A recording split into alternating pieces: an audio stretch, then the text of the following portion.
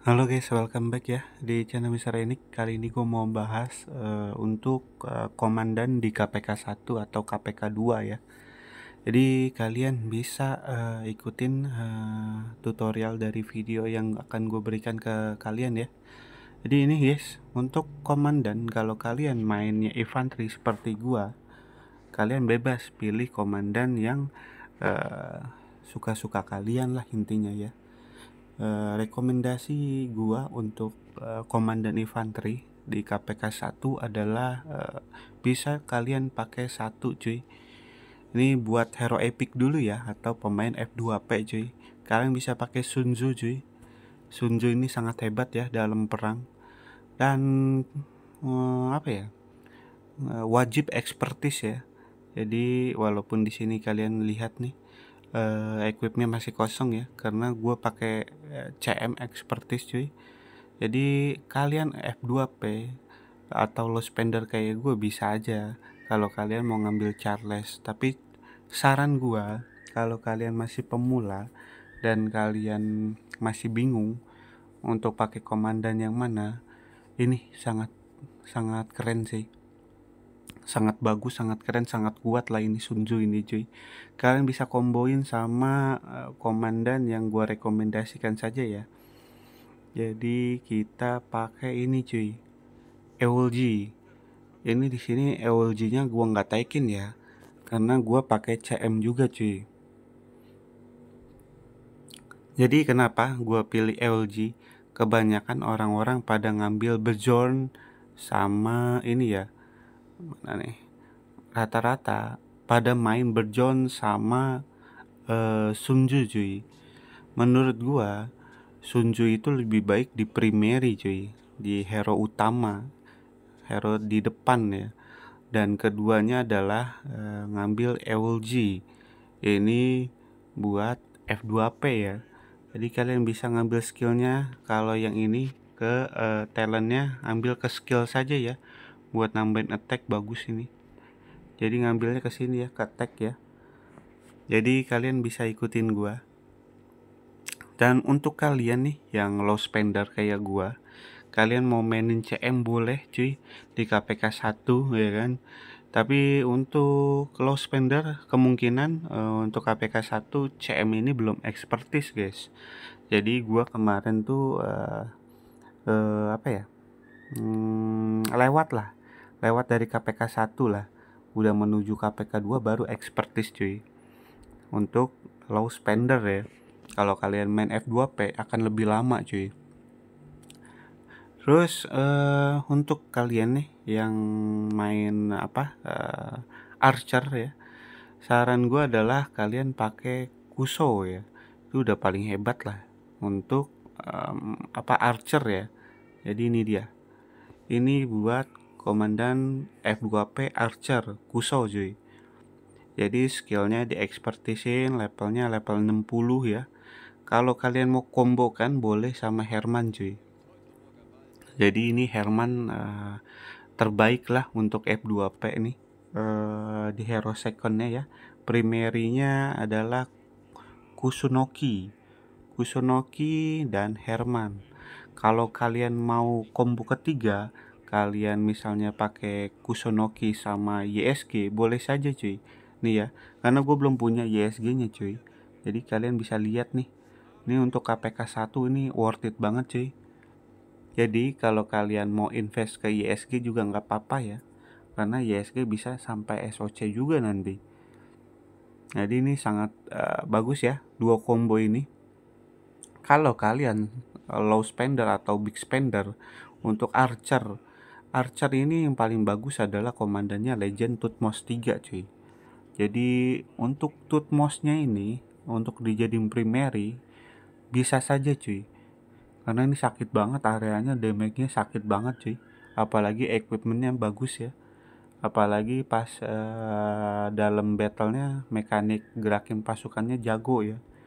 Jadi rekomendasi gua adalah uh, 4 hero ya untuk archer cuy Pertama Kusunoki, dua Herman, ketiga YSG, dan untuk kalian yang big spender ya, bisa pakai Tutmos cuy. kenapa gue skip yang ini L-cheat L-cheat itu areanya kurang kurang bagus ya. Rata-rata pakai tutmos cuy. Kalau mau cari killnya banyak ya. Oke next. Hmm, untuk komandan uh, Calaveri atau kuda ya di sini gue pakai Belisarius cuy. Belisarius ini untuk uh, komandan yang gue rekomendasi untuk kalian begal-begal. Larinya kenceng banget ini komandan cuy.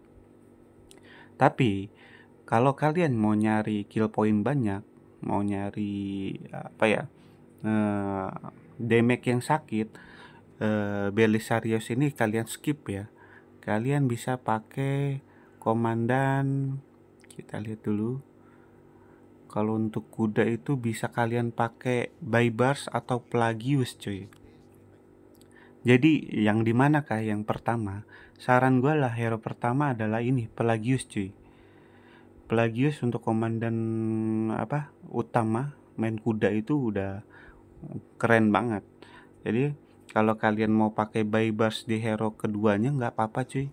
Ini bakalan apa ya? Uh, dapat kill banyak. Kalau equipmentnya bagus komandannya expertise uh, untuk Plagiusnya level 60 Bebar saya juga mentokin ya kan? Terus cari equipment yang bagus. Dan saran gue untuk uh, di hero ketiganya uh, kita pakai bisa pakai ayat cuy. Kalian bisa dikombokan sama ayat cuy. Kalau kalian pintar ya. Nah jadi bisa uh, pilih uh, ayat ya di hero secondnya hero keduanya. Jadi lu mau pakai Pelagius uh, ayat boleh Baybars ayat juga boleh. Jadi banyak kombonya cuy. Jadi tinggal kalian pilih saja praktekin yang mana saja. Dan untuk big spender ya jelas ya Minamoto cuy Minamoto best ever uh, untuk KPK 1 ketika dia sudah expertise ya. Kalau misalnya 311 kayak gini mah jadiin buat barbarian aja. Buat uh, barbarian fort ya. Terus kombonya ketika kalian pakai Minamoto expertise, saran gue adalah cacao cuy. Cacao ini harus expertise juga, kalau enggak 5511 lah. Untuk uh, di hero secondnya ya jadi tinggal kalian pilih-pilih pakai yang mana sesuai. Kalau kalian F2P saran gue tadi ya pakai Plagius by bars oke. Okay. pakai Plagius ayat boleh. Jadi tinggal kalian seraknya pakai yang mana. Pakai Plagius YSG YSG juga nggak apa-apa cuy kalau kalian ngambil YSG ya. Karena damage-nya sakit banget area banget cuy ini. Nah tinggal pilih kalian pakai yang mana saja. Enjoy lah ya jadi untuk kalian nih yang misalnya ngepush uh, hero legend kayak gua nih, kalian akan menghabiskan banyak golden head ya. Contoh nih, uh, kita lihat. Nah, di sini gua menggunakan golden head 580 cuy dan dapat saatnya CM itu 110. Jadi kalian bisa lihat. Jadi untuk expertise komandan legend itu 690 cuy. Jadi kalian bisa lihat lah nih ya biaya patung yang sudah gue iniin. Dan ini gue lagi KPK 2 cuy. Dan kalian bisa lihat nih uh, kill point gue ya. Uh, kita lihat nih poin pembunuhan. Nah di sini cuy. Di sini kill point gue uh, bunuh kill T1 itu 1.700 T2 1.500 T3 1.700 dan lu lihat T4 nya di sini udah tembus 6.200 cuy dan T5 nya 343.000 jadi worth it banget kalau kalian pakai CM untuk KPK 2 ini kalian bisa lah nanti pukul-pukul T5 ya kan? Kalau kalian pakai uh, Komandan Legend. Sekarang lagi uh, ini ya lagi tahap kedua nih bersiap untuk bertempur. Jadi sekarang lagi melatih pasukan cuy. Uh, dikit lagi gua akan perang KPK 2 lagi cuy di KD 3528 ya. Jadi total yang gue dapat sekarang ada pom pembunuhannya 79 juta cuy. Power gue di sini 25 juta ya. Jadi equipment yang gue pakai sekarang yang kita punya legendnya adalah tiga cuy.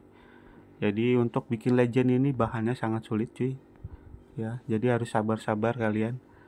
Dan di sini yang hoki eh, cuman celananya saja ya.